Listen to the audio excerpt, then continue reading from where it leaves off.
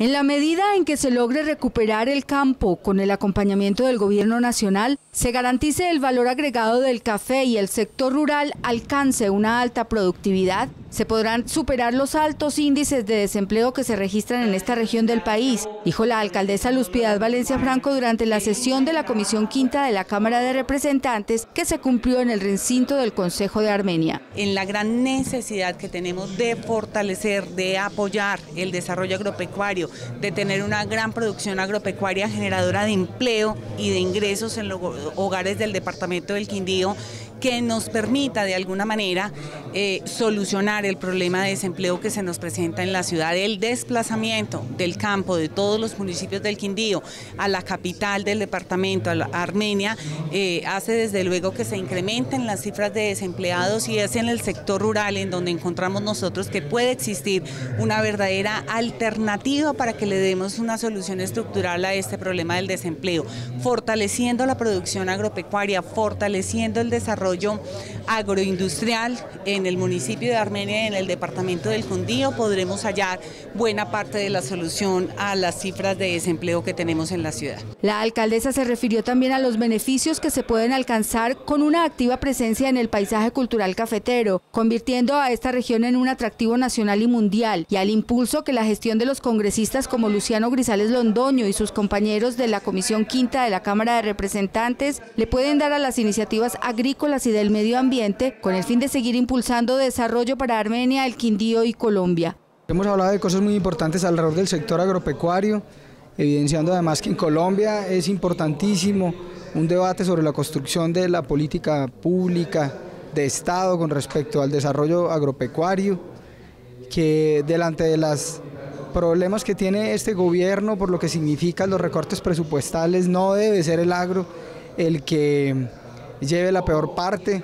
El agro y la infraestructura en este país son los llamados a aprovechar la devaluación que el peso tiene delante del dólar y con todo eso, pues hace mucho venimos reclamando de que en este país se diversifique la economía y no dependamos tanto de los hidrocarburos. Eso era una, una petición que se venía haciendo hace mucho tiempo. Hablamos de la caficultura, con todo lo que eso significa para la economía de un departamento que todavía tiene unas potencialidades inmensas alrededor del café hablamos de la importancia de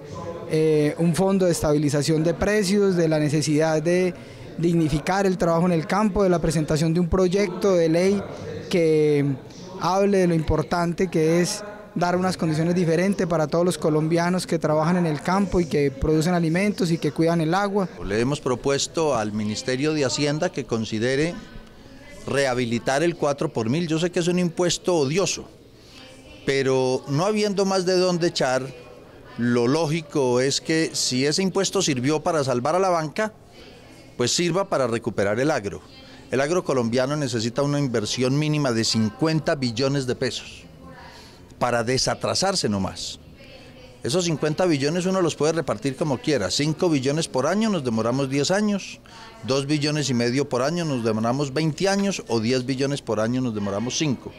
Pero eso es lo que cuesta desatrasar el agro colombiano y por eso nuestro pedido al gobierno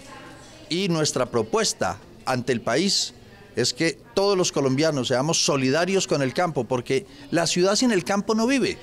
Todos nosotros los citadinos que tenemos una cuenta bancaria, tenemos que darle la mano al que nos produce el arroz, la papa, el plátano, los huevos, el pollo, la carne, a ver si logramos que este país por fin empiece a salir de la pobreza que agobia el campo. Por eso nuestra propuesta, reitero, y en nombre de la Comisión Quinta de la Cámara hablo, no a título personal, es que rehabilitemos el 4 por mil para invertirlo exclusivamente en el agro colombiano. Armenia es una ciudad que lucha y trabaja por la recuperación de la producción agropecuaria, la reivindicación de la cultura cafetera y la renovación y siembra de cafetales, y que cree con convicción que una de las alternativas de progreso de esta capital está dada en el desarrollo del campo.